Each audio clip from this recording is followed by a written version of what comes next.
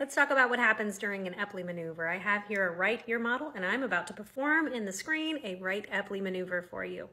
So I started by turning my head to the right and laying back and tipping my head backward over the pillows. Now as you can see these little red rocks represent what the crystals would do. They are pooling right at the crook of that canal if you can see that. The reason why we wait about two minutes in each position is to give those crystals time to settle into position. If they do not settle, your next position is not going to be very effective. The next motion I did was turning my head to the left. It's a little hard to see, but you'll see them tumble just a little further.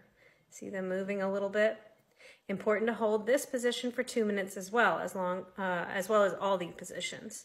So the next motion is a little confusing for some people. Some people think you just roll on your side and keep your nose facing the left, but it's really important to turn your nose down like I just did because that happens. The goal is to get the crystals to fall through this main canal there and go into this main sac.